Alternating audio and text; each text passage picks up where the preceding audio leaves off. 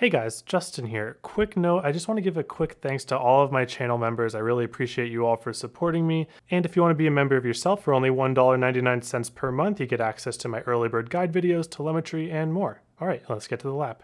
It's a trade-off though. You're straightening out the exit at the expense of not having as I'll much be doing momentum. something right. I'm getting up, up It's on one of those like, if you don't get it how you want it, you can say, mm-hmm. okay, I'll do it this way instead, and it kind backup of saves the corner. I found when I was practicing the long run, I ended up doing that like probably every third lap or so, or just be like, eh, this is fine. What are some of the fastest times in another track?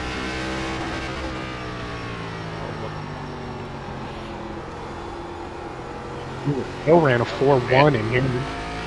There's a lap. Shit. 20.36. 20.36. All right, let's take a look at that. So I thought for a while this would be a second lap hot lap, but I lowered the brake bias a bit and it becomes a first lap hot lap in my opinion if I lower it to 65.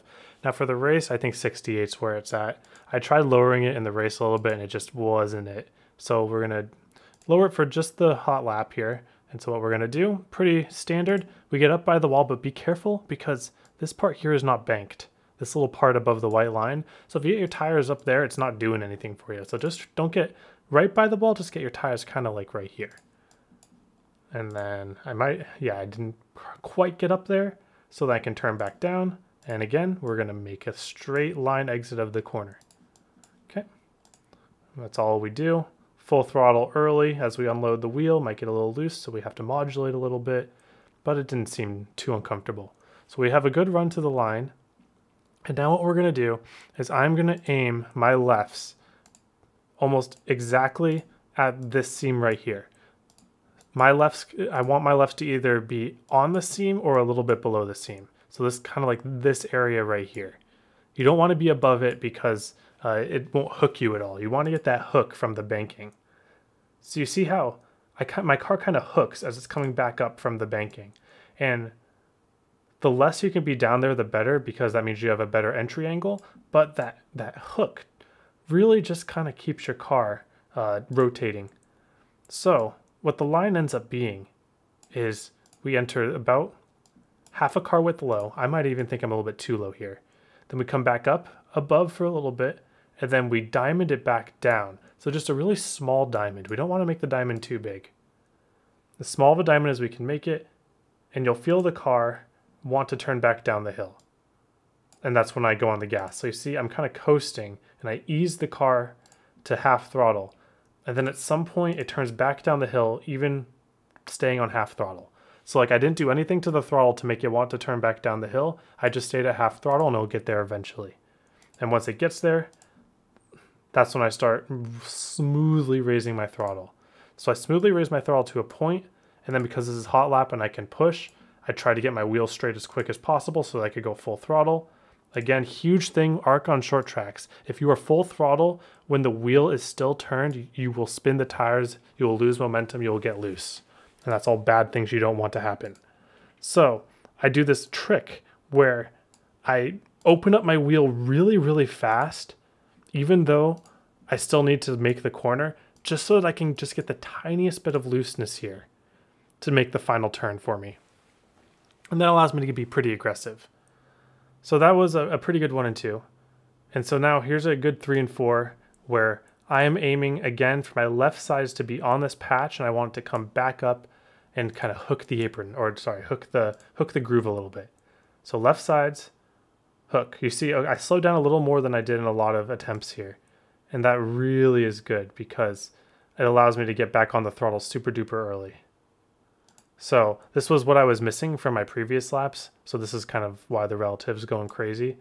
I slow the car down more than usual. You see, I give up about three hundredths here just to get the car turned down really early. And then we're gonna shortcut the exit.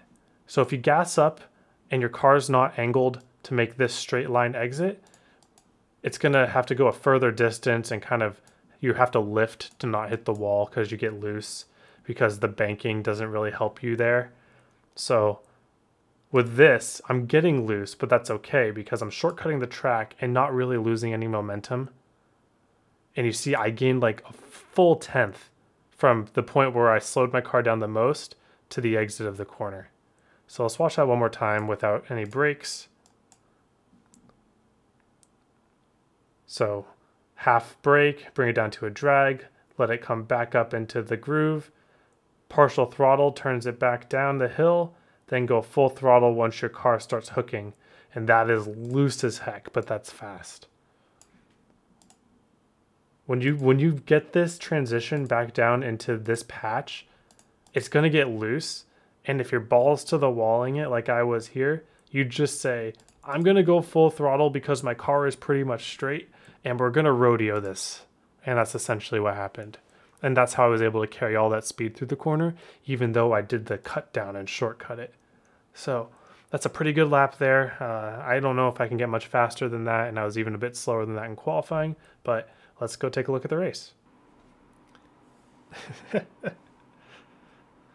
well, this is how my race went, except we Tony Hawk Pro skated it and kept her going.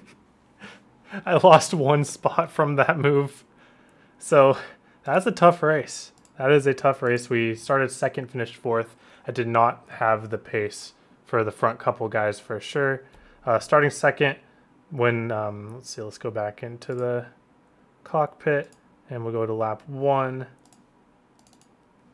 So this start was really tough up here. It's a little greasy. And when he goes, I just have such a hard time going because what he does from the lead is he's able to turn down the track. I should have matched him and turned down the track with him, but I didn't. So I, I had a really bad start, and which allowed him to pass me. Usually I don't think that third should be passing second here because of the lines, but because I didn't know to turn down off the start there, that cost me this spot. But that was okay because both these guys were crazy fast.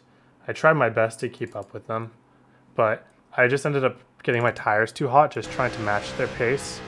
Because you can see here, like our ones, I'm just getting a little too low all the way around. Like, and they can cut, they see how they, they cut the track like that? You can do that if you get a high entry into one. The scary part about a high entry into one though is it's easier to spin out than this low entry. So I was playing it a bit conservative, but by playing it conservative in the moment, I'm actually making my tires hotter. So I didn't, that was, that was kind of the moral of the story there. You just got to get really comfortable with this line. So like you see I slide up a bit too high there because I'm not as much on the brake as I can be. And I was just scared to be more on the brake. So um, the brake bias, everyone's running 68 pretty much. That's where I was too. It's just more about being a good short tracker. And I'm not necessarily the best short tracker. I know I won Langley, but I just never felt like I was that great at short tracks. And this kind of shows why. I'm just not as uh, confident on the brakes as some of these best guys are. But my line isn't the worst. Like I got third. It's not the or not. I didn't get third, but I was running third. It's not the worst in the world. But it's just like everyone else is running with a lot more confidence to enter high and then stick to this line. You see how that's pretty much what everyone's doing? I'm just entering too low and sliding up too high, all because I'm just a little bit worried about using the brake. See, entering too low, sliding too high.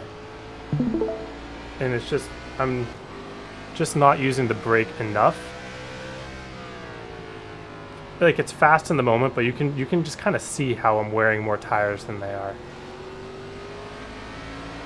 So that that's kind of my tip to you guys. Like really get comfortable with using a lot of brake on these corner entries. Like you see there, I slid up because I was afraid to hit the brake because I entered higher than I usually do. So once you're comfortable with that, once you get in a rhythm with that, it, you can actually be pretty fast, pretty uh, consistently. And now we'll get to the funny part um, of the race uh, up 22. So Larry unfortunately magnet walls. And as he's pulling off the wall after magnet walling, he gets into him, which gets into me, which is just really unfortunate. And I thought my race was over. I'm like, oh, there's no way. Like, when you're when you're seeing this, you just kind of think, well, especially when I'm like this, like you think that your race is over, but I don't know how. I don't know how I didn't get a meatball there.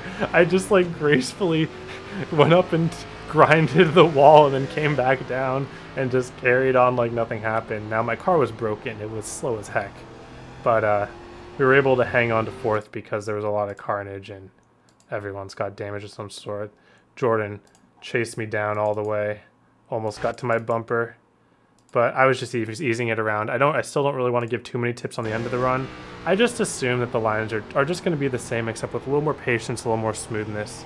But it's all about trying to get that, that hard braking into the corner so that you can keep it kind of pinned on that line and not use too much tire. See, I'm doing kind of doing it right there, except I'm just really slow, just because that's how.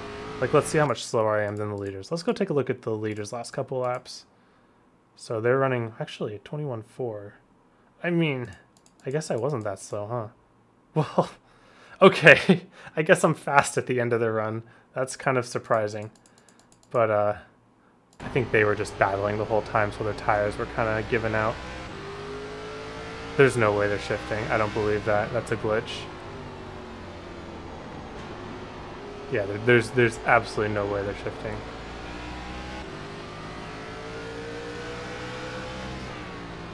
Yeah, I think Larry was actually the fastest out of everyone at the end here. So you see, we're sliding up a little bit more there, but it's not bad. Uh, I definitely would want to try this again to see what I could do without damage at the end there. Uh, I think that my car actually was a bit faster than I expected it to be at the end. Larry just had a lot of pace at the end though. But anyways, that was a good race. Those are my tips for long run. Uh, be careful out there. It's a it's gonna be a, a, a landmines full of landmines, playing dodgeball with cars, all that good stuff. But anyways, thank you all for watching. Hope you have a wonderful day. I hope to see you all on the track.